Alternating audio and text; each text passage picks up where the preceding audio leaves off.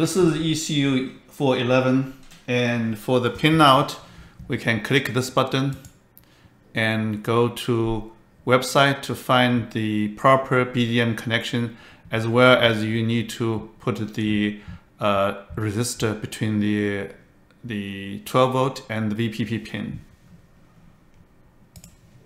Let's give it the 12 volt and then give the NT power. And we can do a full read.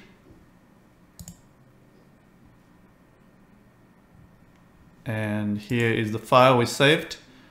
If we want to do a load, we can load the external file and then do a write and click yes.